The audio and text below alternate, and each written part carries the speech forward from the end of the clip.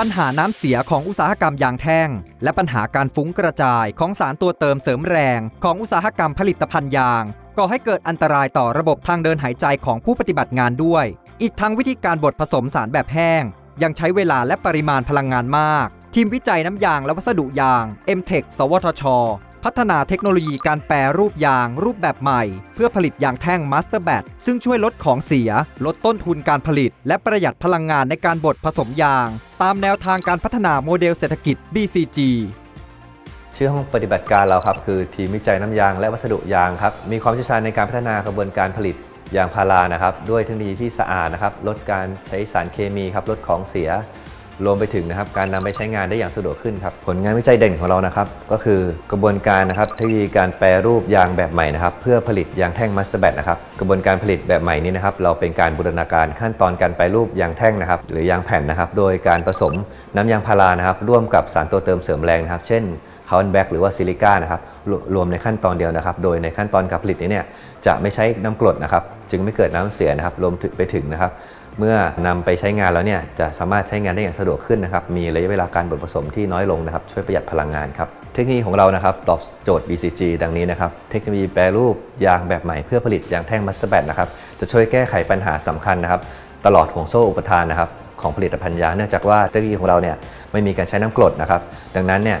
จากเดิมที่ต้องการแปรรูปจากน้ำยางสดนะครับเป็นยางแห้งเนี่ยใช้กดนะครับจำนวนมากนะครับทำให้เกิดของเสียนะครับเกิดน้ำเสียจำนวนมากนะตั้งแต่เกษตรกร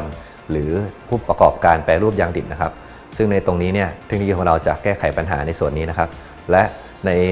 ในขั้นตอนการผลิตยางยางแท่งแต่เดิมเนี่ยจะมีการใช้เครื่องเครื่องจักรนะครับ หลายขั้นตอนมากเลยครับแล้วก็มีการ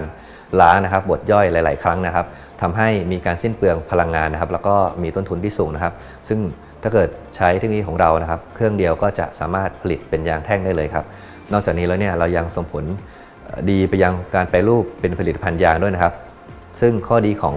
ยางมัสเตอร์แบตของเราก็คือว่าช่วยลดพลังงานในการผสมนะครับทำให้ลดต้นทุนในการผลิตนะครับ มีการผลิตที่รวดเร็วมากขึ้นนะครับ และลดการฟุ้งกระจายของสารตัวเติมเสริมแรงนะครับ ก็คือซิลิก้าหรือคาร์บอนแบ็กซึ่งตรงนี้เป็นปัญหาสำคัญของสุขภาพของคนงานครับอยากจะขอเชิญชวนนะครับ ผู้ประกอบการนะครับ ผู้แปรรูป ยางแท่งนะครับ หรือผู้ประกอบการแปรรูปเป็นผลิตภัณฑ์นะครับ มาร่วมกันทดสอบทดลองนะครับ ใช้งานยางมัสเตอร์แบตของเรานะครับ เนื่องจากว่าโครงการของเรานะครับกำลังอยู่ในขั้นตอนการขยายผลนะครับ ในขั้นตอนการทดลองระดับอุตสาหกรรมครับอยากให้ทุกท่านนะครับ มีโอกาสได้ใช้งานนะครับ เพื่อจะได้พิสูจน์ครับว่า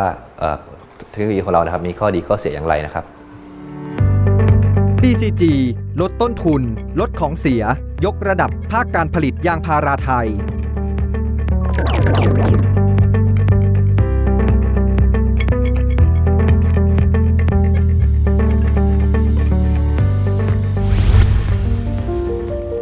BCG เพิ่มคุณภาพชีวิตเป็นมิตรกับสิ่งแวดล้อม